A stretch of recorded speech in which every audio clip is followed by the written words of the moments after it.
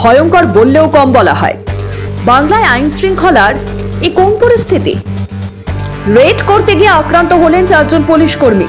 এদের মধ্যে দুজন আবার অফিসার, একজন আবার কনস্টেবল আর একজন গাড়ির চালক। গভীর রাতে উত্তর দিনাজপুরের চোপড়ার আমতলা এলাকায় দিল মোহাম্মদের বাড়িতে তল্লাশিতে গিয়েছিল পুলিশ। দিলের ছেলে মেজর আলমের বিরুদ্ধে একাধিক অভিযোগ রয়েছে। মেজরকে গ্রেফতারের পরই পুলিশের উপর আক্রমণ করে অভিযুক্তের পরিবার। ধারালো অস্ত্র দিয়ে কোপানো হয় এসআই দেবাশিস পোদ্দার এসআই পবিত্র কুণ্ডুকে। ভাঙচুর করা হয় পুলিশের গাড়িতে। আহত পুলিশ কর্মীদের শিলিগুড়ি হাসপাতালে ভর্তি করা হয়েছে।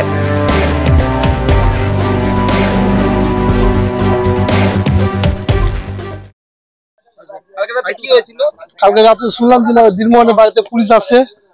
মানে পুলিশ আসার পরে ওর ছোট ছেলেটাকে ধরেছে। ধরার পরে বড় ছেলেটা একটা নিয়ে এসেছে। আসার পরে পুলিশকে কাটাকাটি শুরু করে দিয়েছে। তখন অল্প অল্প বৃষ্টি আসতেছিল বা গ্রামের আশেপাশে কেউ জাগানো ছিল না ঘর থেকে বাইর হয়নি। ঘটার পরে পুলিশ যখন পালাচ্ছে গোক দোয়াদুই হচ্ছে মানুষ শুনছে তারপরে মানুষ বেড়ে এসে দেখছে যে রক্ত রক্ত হয়ে গেছে। তখন সবাই তো প্রায় এই পাড়ার সবাই পালিয়ে গেছে। কত রাত্রে ঘটনা? এটা রাখে না পৌনে একটার দিকে। পুলিশের গাড়িও ভাঙচুর করা হয়েছিল। আর পুলিশের গাড়ি ভাঙচুর করা হয়নি। পুলিশ যত পালিয়ে যাচ্ছে তখন সেলিম সেলিম যে ড্রাইভার ছিল তখন ওই গ্রামের ভিতরে গেছিল ওর পেটে এক চাকু লাগানো হয়েছিল কোপানো হয়েছে। তারপরে আমি একটা ছেলেকে দিয়ে তার নাম হলো নসির ইয়ে নসিরুদ্দিন ওকে দিয়ে আমি পুলিশে ওই হসপিটালে পাঠাইছি। হসপিটালে পাঠার পরে আমি যোগাযোগ ওর সাথে রেখেছি পুলিশ ওদেরকে আটকে রেখেছিল সকালে আবার পাঠিয়ে দিয়েছে। পুলিশ শুনলাম যে চারজন ওখানে হয়েছে আর ইয়া ড্রাইভারও হয়েছে তিন একজন পাঁচজন টোটাল সকালে পুলিশ আসছিল নাকি? সকালে আসছে রাত্রে আসছে। আমাদের প্রায় যে যতগুলো আছে মানে গ্রামবাসী এরা ভয়ে থাকার ইচ্ছা মতো নেই।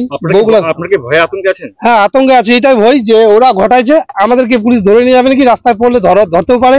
তার জন্য আমরাও ভয়ে আছি। রাত্রে যেটা শুনতে পারলাম এখানে পুলিশ অ্যারেস্ট করতে আসছিল। মুখ করে কাকে? মেজর আলমকে। কেন অ্যারেস্ট করতে এসেছিল? যেটা শোনা গেছিল এদের নামে একটা কিডন্যাপিং কেস হয়েছিল চোপড়া থানায়। এই ব্যাপার নিয়ে পুলিশ অ্যারেস্ট করতে আসছিলেন। তারপরে কি হয়েছে? তারপরে শুনলাম দুইজনে পুলিশ প্রশাসন এবং ওর মেজর আলমের সাথে পুলিশের ধস্তাধস্তি হয়। হ্যাঁ এতে পুলিশের কর্মী তিনজন চারজন। জখম হয় যেটা আমি শুনতে পারলাম। তো মেজর আলম কি অ্যারেস্ট হয়েছে? না বর্তমানে এখন যেটা শোনা গেল যে মেজর আলম অ্যারেস্ট হয়েছে। পুলিশ কি এখন চারজন পুলিশ পুরো ঘায়েল হয়েছে পুরো সিরিয়াস অবস্থায় আছে। পুলিশ তারপর থেকে সকালে ওর বাড়িতে কোনো অভিযান বা না পুলিশ সকাল থেকে অভিযান চালাচ্ছে।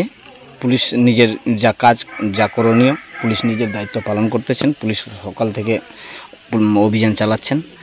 এখন শুনতে পারলাম পুলিশের অভিযান চালিয়ে বাড়িতে পুরো ছানবিন চলছে। তারপরে মেজর আলমকে অ্যারেস্ট করা হয়েছে। কিছুদিন আগে একই ধরনের ঘটনা ঘটেছিল কুলতলিতে। দুষ্কৃতীদের ধরতে গেলে পুলিশদের ঘিরে ফেলে মহিলা বাহিনী। গুলিও চালানো হয় বলে অভিযোগ। দক্ষিণ চব্বিশ পরগনার কুলতলির সেই ঘটনার পর এবার উত্তর দিনাজপুরের চোপড়া। অপহরণের ঘটনায় অভিযুক্তকে ধরতে গিয়ে সে পুলিশকেই ছুরি খেতে হবে, তাও ছিল কল্পনার বাইরে। তৃণমূলের দাবি, এর সঙ্গে রাজনীতির কোনো যোগ নেই।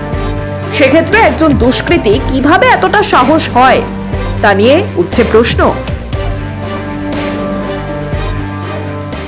হ্যাঁ আমি ওই বুথ থেকে খবর পেলাম মেম্বার এবং আমাদের বুথ প্রেসিডেন্ট আমাদেরকে জানালো। কালকে রাতেই শুনেছি আমি যে একজনকে ধরতে গিয়েছিল, প্রশাসন রেড করতে গেছিল পুলিশ প্রশাসন, এবং সেখানে গিয়ে তারা আক্রান্ত হয় এবং আমরা পুলিশকে, প্রশাসনকে বলি এবং অনুরোধ করি, যারা আইন বিরুদ্ধে কাজ করবে, তাদের বিরুদ্ধে কঠোর ব্যবস্থা নেওয়া হয়।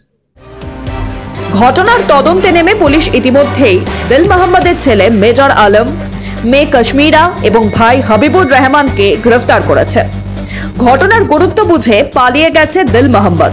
পুলিশ এলাকায় তল্লাশি অভিযান চালাচ্ছে। বাড়ি থেকে কিছু ধারালো অস্ত্র উদ্ধার করেছে পুলিশ। এসবের মধ্যেই প্রশ্ন উঠছে রাজ্যের আইন শৃঙ্খলা নিয়ে। এই চোপড়াতেই সালিশি সভার নামে মহিলার ওপর নির্মম অত্যাচার করতে দেখা গিয়েছিল তৃণমূল বিধায়কের ঘনিষ্ঠকে। এবার পুলিশকেই খুনের চেষ্টা। রাজ্যে হচ্ছেটা কি? জবাব দেবেন মুখ্যমন্ত্রী তথা পুলিশ মন্ত্রী মমতা বন্দ্যোপাধ্যায়। ব্যুরো রিপোর্ট মাধ্যম